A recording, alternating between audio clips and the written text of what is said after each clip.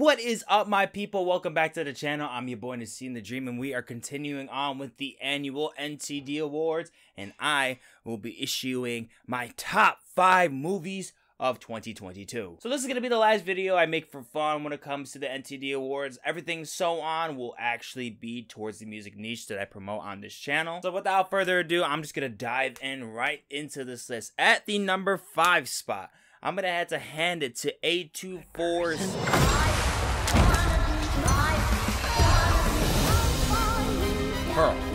Pearl is the prequel to the highly successful slasher movie that also came out this year, X, and it stars Mia Goth as Pearl, a young woman grown up in an isolated farm with strict German integrated parents, whom is a girl that deeply desires to be seen in film, and is also directed by Ti West. Now, this is obviously a really tough pick if you've seen both of these films to pick Pearl or X, and I really do think overall X has the best horror slasher vibes to it and overall aesthetic. But the thing that really had me captivated with Pearl is just the overall cinematography and the new sketch way that they went with the filtering. But on top of visually what I was really enjoying more from Pearl, what really put Pearl over X for me hands down was Mia Goth. I think it's been said well enough from people that have seen the film and are familiar with Mia Goth's work. This is without a doubt a performance that is a must to be recognized in the Academy. Mia Goth really does carry this film on her shoulders with not really that much included support from the other performers on here, which I'm not shitting on them. They actually did a really good job, but I feel like they had more involvement when it comes to X. But with Pearl, Mia Goth was the reason why Pearl is an absolute must see, especially if you enjoy the X film. Not only does X really capitalize at something that just feels so unique when it comes to the slasher genre,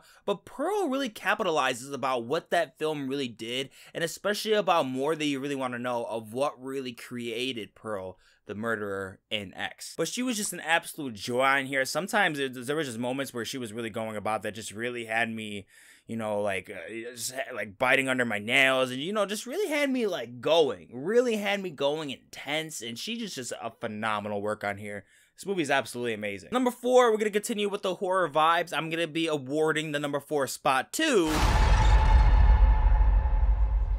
This is perfectly natural.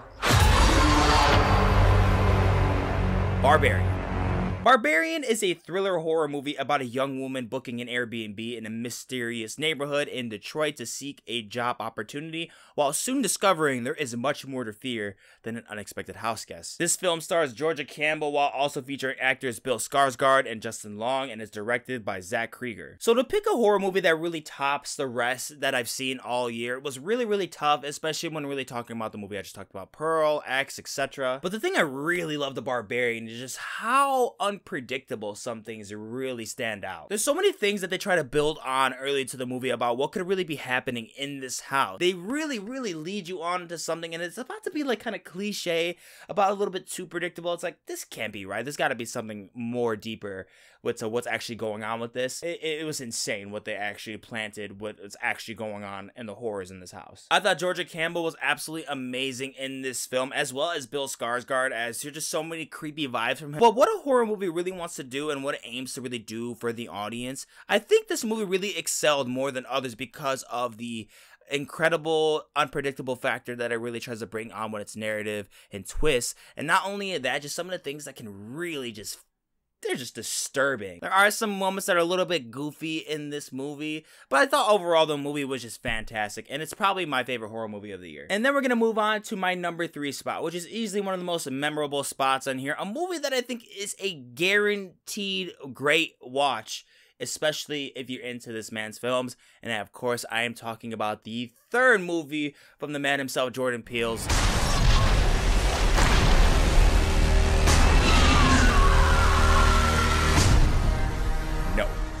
Nope is the third written and directed thriller from Jordan Peele and stars David Kaluuya and Keke Palmer, taking place from their California ranch. And the synopsis goes out with this brother and sister relationship aiming to make a living while also aiming to make it big in Hollywood when they discover something sinister occurring in the sky. Now, Jordan Peele it's just been an absolute stud when it comes to what he's just already been creating with these already three films that have just been absolutely outstanding and some of the best thriller horror movies you can ever watch. But I think without a doubt, Nope is just the absolute steal for all three of these movies in considered. And like I mentioned, they're all absolutely phenomenal, but this one just takes the cake. David Kaluuya is much more memorizing than he was in Get Out. Keke Palmer is just such a bright light and just a character that just brings in so much entertainment. There's just so much personality that's feeding off this character. It's one of the best developments in all of his films. And I think what really made this film stand out the most is that while you're trying to really figure out what's really going on with this whole UFO situation, and then it's finally uncovered, it's it's freaking it's terrifying. It's somewhat easy to figure out how to defeat a slasher. It's just one person that's a killer. Usually they're not fucking Michael Myers. And without spoiling Barbarian, it's also a little bit somewhat simple to beat the, the villain in this movie. But in Nope, what do you do? That was the thing that really had me on the edge of my seat the entire watch through. But I would say that David Kaluuya and Keke Palmer were just something that were just so fresh and new for this movie, and especially being familiar with their work, and especially being familiar with Get Out, you really wonder, like, man, how are you pulling this off? This is fantastic. Jordan Peele, how are you doing this? How are you doing this, dude? Everything he touches just turns into gold, man. In terms of fundamental work of what really goes into a movie, the performances, as far as the cinematography, narrative, and writing, have all reached a level that I think is at least pretty great. But there's certain moments on here, especially with the writing and just performances overall, that really reach top notch. Steven Yeun is also one of the greatest performances on here as well. But I think hands down, considering how mind-boggling it is, how Get Out and Us are already great horror films, horror thrillers from Jordan Peele, it's not even a competition to me that Nope is the best one out of the three. Moving on to the number two spot. A movie that I really feel like is so underrated, so underappreciated, and shockingly, mind boggling, not too many people have even seen this yet. And I just gotta say to that viewer, you're tweaking. That movie, hands down, goes to.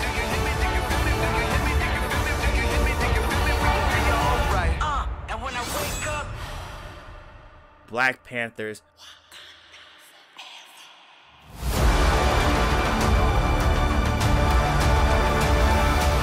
Black Panther Wakanda Forever is the second movie to the Black Panther story, as well as the final film in Marvel's Phase 4. The film stars Letitia Wright as Shuri with breakout supporting roles such as Angela Bassett as Queen Ramonda, Winston Duke as Mbaku, Danai Gurira as Okoye, and with our protagonist in the film Tenoch Huerta as Namor the Submariner. Now, I think all the Marvel fans are especially know why this movie was going to be such a difficult watch, and not to mention like the heights that it really needed to reach because of the tragic passing of Chadwick Boseman. No one knew necessarily where the direction was gonna go, and especially with the comic book nerds knowing about what we're supposed to be reaching in Phase Six, going into Secret Wars. How are we gonna do that now. And I get that's why they had a lot of people discouraged because you know Chadwick Boseman was he really was T'Challa. The he had such a special connection with the Black Panther character that so many people were mesmerized by, they were so connected with. You know, it, it, it was seriously a blow to the heart. And it really made sense about why people were just like, you know, you can't, you feel like you can't really move on. And I get why some people just really thought the Black Panther story should just end right here. But I think the man who really needs to be credited is the director Ryan Coogler, especially because when he finished the script, that's when they found out about the tragic news of Chadwick Boseman's death. That's when he had to start rewriting the entire script. The fact that you find that out right there there and you have to rewrite the script while you're grieving. And this is what you make. The skill and talent and dedication to making such an emotional, impactful, and just absolutely upcoming film like this is hands down incredible. There's no arguing with the amount of talent Ryan Coogler possesses because he already did so well with the first Black Panther film, and what he does with this one it's just, it, it's incredible. Y'all need to respect Letitia Wright. Put some respect on Letitia Wright's name. The size of these shoes that she had to fill for this movie no one could do it. I don't want to hear all the bullshit that people were saying. Why don't you just recast Michael B. Jordan? No, he fucking died. It wouldn't make sense for Killmonger to come back from the dead to make him Black Panther. That is just lazy writing, and it's also a disservice to what Chadwick Boseman did for the character. No, they did the best thing that they really could for this film, and I really thought that there was no other better way that Ryan Coogler could have really approached this because man, everything that he really did with this film, everybody in this film, scene by scene, stepped to the plate. The moments that were emotional, the moments that were exciting with its action sequences, and the moments that just had you filled in with more deeper dialogue when it comes to understanding the story and understanding these new characters that were being introduced, such as Namor and the Atlanteans, or I guess they're not necessarily called the Atlanteans. There is zero argument to say that the work that put into this film wasn't absolutely top notch. It's it's one of the better films to ever come out in this entire year. Some of the better films that ever even came out in the MCU. They at least had comic book background to really make this story relevant and continuous to what they're really trying to do in the future of the MCU. And I think this movie was just it it felt impossible to really continue on with and it kind of really felt like that. And there was just moments that it just felt like where emotion was really being displayed, especially from Angela Bassett, Letitia Wright. It it felt so real and it pierced my soul. I burst out crying in that theater, man, and I felt the emotion, everyone laughing, everyone being sad. It felt like it really felt like a true family witnessing what they've been waiting for and the heartbreaking but beautiful tribute that this movie was to the great Chadwick Boseman. I love this movie. It's easily one of the best Marvel movies ever made and you know, I wish the circumstances were different because it's unfortunate. But what what they did with this film due to the circumstances they, they couldn't have done any better. They they did their best and it shows. Ladies and gentlemen, we are at the number one spot. Now, this is not only my number one movie in 2022, this is a movie that has touched me on such a personal level that I had no choice but to crown this movie after watching it so many times as my favorite movie of all time. Ladies and gentlemen, I crown the number one spot to the great and powerful A24 phenomenon. Every rejection, every disappointment has led you here to this moment.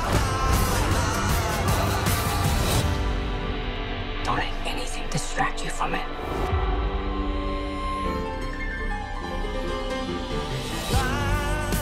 Everything Everywhere All at Once. Everything Everywhere All at Once stars Evelyn Wang, played by Michelle Yeoh, alongside with her family that plays a huge role in this film. Ke Huy Quan as Waymond Wang, James Hong as Gong Gong, Stephanie Hsu as Joy Wang, and in my opinion, one of the best supporting candidates in 2022 Jamie Lee Curtis. This is a film about interdimensional rapture unraveling reality, and it is all up to our lead, Evelyn Wang, to save the multiverse. What they really go with imagery wise of what they want this movie to represent, they go about by explaining it as an everything bagel. The themes and tropes and overall ideas that they try to build into this everything bagel concept, you're at a loss for words about how a movie like this can even exist. Fundamentally, this movie just excels in the best way possible. Performance wise, Michelle Yeoh and Ke Huy Quan were absolute standouts. And like I said, Jamie Lee Curtis is one of the best candidates as female supporting actresses of 2022. I would be shocked if she didn't win this year. Not to mention, I would just be shocked if this movie in general did not sweep the Academy because Michelle Yeoh really stepped up to the plate on here and showed what she can really do, shows how talented she really is. There's just so many things that this movie dives into, and there's just so many different ways that this movie approaches and how it's trying to demonstrate what it's really trying to get at. It's just incredible. It's incredible. I have never seen such obnoxious humor in a movie like this it's it's unimaginable about how much work that they really try to put in here, especially when thinking about all the practical effects that go into this movie because there are just so many shots that I knew that they were there probably for hours shooting. I will say this movie isn't probably for everybody, but I will also say that this is a movie that you just cannot miss, that you must, and I mean must try. There was moments that really had me in my feels during this movie, and it's it's an incredible two hours and 20 minutes of just great writing, great character development, and just a powerful theme hitting at the very end. It's an incredible watch. I think this is a movie that should be acknowledged by everybody. It's one of those movies that I think should have as much hype as like movies like Shawshank Redemption, which is like a movie that almost everybody has heard of. How the Daniels approached the direction of this movie and just thinking about what they actually seen in these performers, it's incredible of what they actually brought off of them because I really think that this movie did something so big for each of these performers that they're gonna be asked nonstop now for roles. This movie has everything that you could ever love into it in terms of a genre, a comedy, an action movie. The sequences, what they do with the scenes on here, are absolutely amazing. The cinematography is just bonkers. What they do when it comes to widescreen going in full screen, it's just absolutely outlandish. What this movie does to pay homage to kung fu movies and their appreciation from the Daniels movies, it's just so satisfying and it's just so pure and genuine. It is without a doubt the best movie I've ever seen ever in my life. The one movie I recommend anybody to see because it deserves the acknowledgement, it deserves the watch, and I can guarantee you, you'll at least like the movie but I would be surprised if you didn't love it. And guys, that is my top five movies of 2022. Guys, let me know down in the comments below what were some of your favorite movies that you watched this year. Let me know what you thought about my list. Did you love these movies that I named? Did you hate them? Let me know in the comments down below. I appreciate you guys so much. Don't forget to like and subscribe to help support the channel. I appreciate it so much. Stay tuned for the rest of the NTD Awards as I will be coming out with the next video that will be about my top five scores of 2022. Stay in tune for that. To catch you in the next one. Deuces.